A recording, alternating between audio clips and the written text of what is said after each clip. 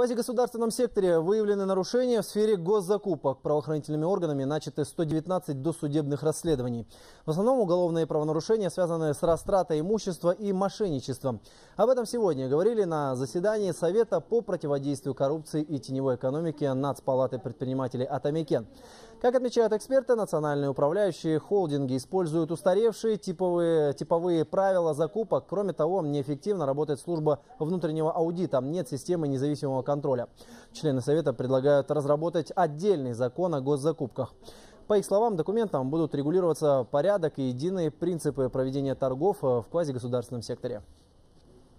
Мы э, при осуществлении закупок провели 143 проверки. Как правило, это проверки по жалобам различных, э, различных предпринимателей.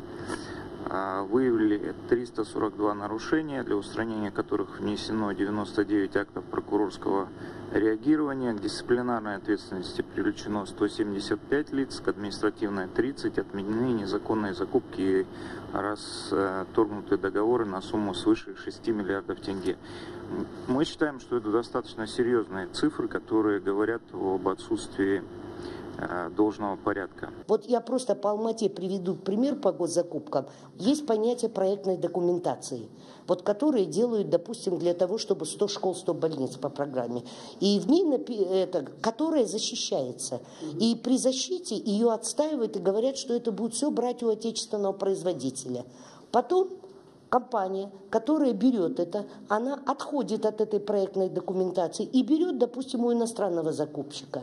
Почему никто не проверяет о том, что в проектной документации это есть, а уже когда сам факт идет закупки, вдруг никто не проверяет этот документ. То же самое и в квазигосударственном секторе.